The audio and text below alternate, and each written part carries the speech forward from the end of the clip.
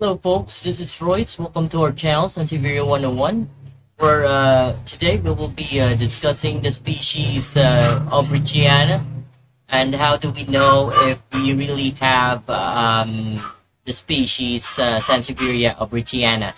So uh, all you have to do is to ask yourself if you really have an aubrytiana with you because uh, you might have uh, the species longiflora or the uh, other species grandis uh, var uh, variety suluensis, which are commonly mistaken as uh, Sansevieria aubrytiana.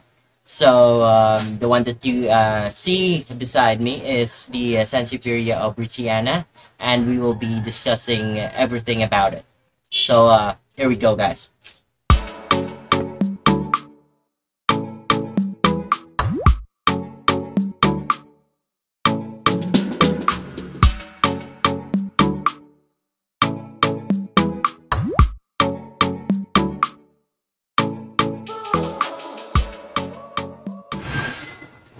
Okay, so what we have here is a large clump of the Sansevieria aubrytiana. As you can see, it's quite tall.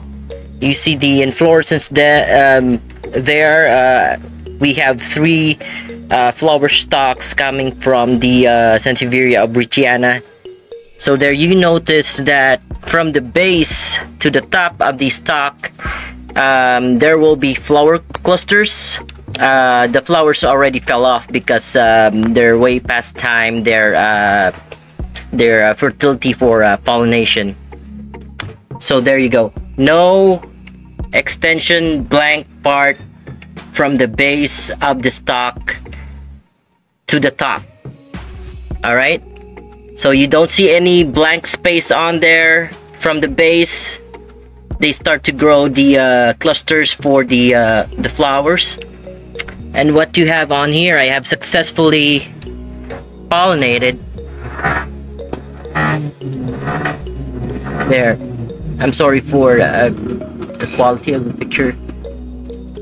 I have about three fruits from uh, this flower stock of uh, Sansevieria I had more but uh, for some reason some of them uh, fell off. So I just I'm just left with uh, around three of them.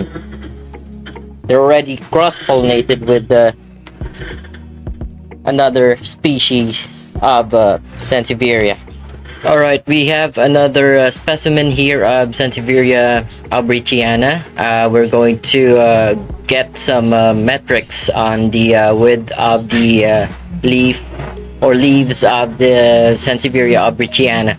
Hold on, let me get my uh, measuring equipment. Alright, so you can see there it's uh, set set in uh, inch inches. It's already in uh, one inch now. We're try we're going to try and measure the whole uh, leaf uh, width of it. Mostly, I would say uh, it would be around four inch or so. Okay, 39, 4, 4.5, uh, 4.7, 4.8, 4.8 guys. Alright, so that's how wide the uh, Sansevieria aubrytiana leaves can uh, grow. Okay, so we're done with the width of the uh, leaves. Uh, we're going to measure the height of this uh, specimen. So what I have here is uh, a 24 inch ruler and I'm going to uh, place it at the uh, base of the, the plant here. Alright, so you can see from there sorry for the uh, picture uh, video quality. Right. 24 inch by uh, by that part. And then I think about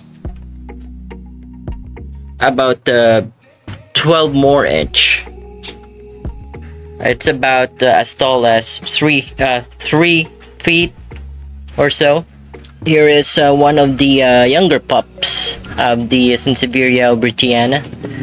Alright, so as you can see there, even the pup is more than 2 feet. That's more than 24 inch. Alright.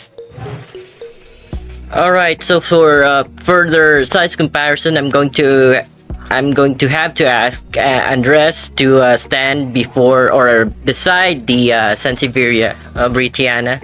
Alright, Andres, please go over there. Over there. Yeah, that's it. Uh, come closer. There you go. Alright. Andres, smile for, for everyone. Smile, smile. okay, that's enough. Alright, so there you go, guys. Um, that's how tall the uh, Sansevieria uh, species is.